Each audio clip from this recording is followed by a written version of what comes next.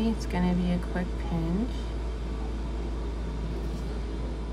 At One Medical, our serology tests are all being sent out to LabCorp or Quest. Most of the time, they are using a test that is manufactured, the reagents and the machine by Abbott. So that's the extremely high performing, 99.9% specific, 100% sensitive test.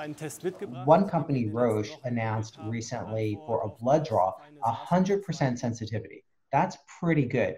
And over 99% specificity. That's really good too, because that's going to minimize my number of false negatives. That's what I'm concerned about, as well as false positives. If you test where there's a low prevalence, meaning there's a low percentage of people that have the disease, and say you have something that's 95% accurate or 90% accurate, that sounds pretty good, but it's not when you're testing hundreds of thousands of people or millions of people. You could have tens of thousands of inaccurate information on both ways. So you want something, honestly, that's greater than 99% in both of those measures. So for SARS, and MERS, which are similar um, to the novel coronavirus, presence of antibodies typically gave persons two to three years of protection. So that's a good sign.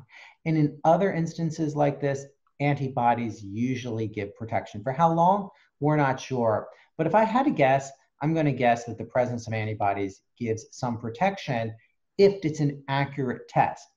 They email us the report and so it would come out looking like this. So this is the serum part of your blood. These are the platelets underneath.